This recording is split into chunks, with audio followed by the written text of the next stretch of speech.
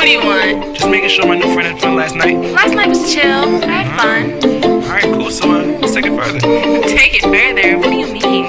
Why does it seem like you only want me for the moment? Have you moaning and then I'm gone in the morning? It doesn't seem right. And usually I'm over that question, never. What is going on guys, it's Gaming Nacho here today, and I think this is a new glitch, I'm hoping it's a new glitch, because uh, well, it's, it's more of a tip than a glitch, but it glitches the zombies out a bit. So yeah, basically this is in the starting room, or uh, I can do this best in the starting room. So as you can see on the video, uh, what you need to do is come up to this top layer up here, and sprint off the edge and keep ducking and crouching, and you should get more air. And the longer you're in the air, the better. And as you can see in the video, now zombies will start to ignore me, and it's really, really helpful to running rape trains in there. You get rape train run up there, go there, they'll run up, go up the stairs. You can just do that, the zombies ignore you, it's really good.